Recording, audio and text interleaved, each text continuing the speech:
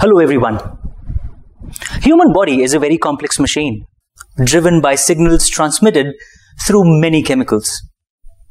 These chemical agents, or hormones as they are called, serve multiple functions in the body, from digestion of food through to controlling the functions of all the major organs in your body.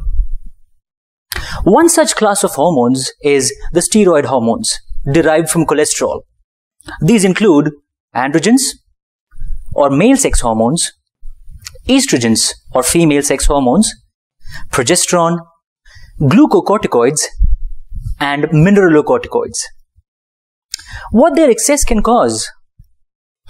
Imbalance in progesterone and estrogen is known to cause heavy bleeding during periods in females.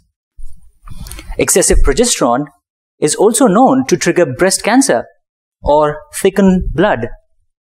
Cushing syndrome, to name a few. Their deficiency can lead to Addison's disease, infertility, brittleness in bones, mood swings, and many more.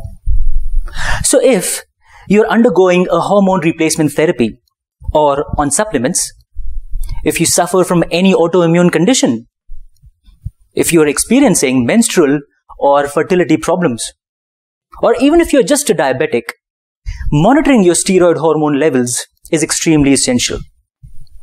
Thyrocare, world's largest preventive healthcare laboratory, presents a comprehensive steroid analysis profile, which covers 14 hormones to assess your well-being. So just spend five minutes today to identify conditions which can make your tomorrow worrisome. Trust Thyrocare for all your preventive healthcare needs.